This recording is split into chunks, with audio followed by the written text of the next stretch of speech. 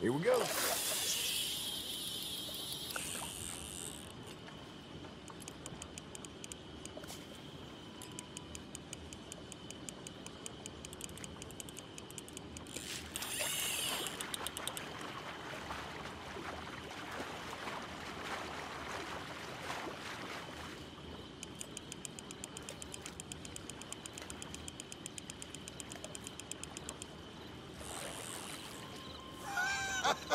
You're the damn fish!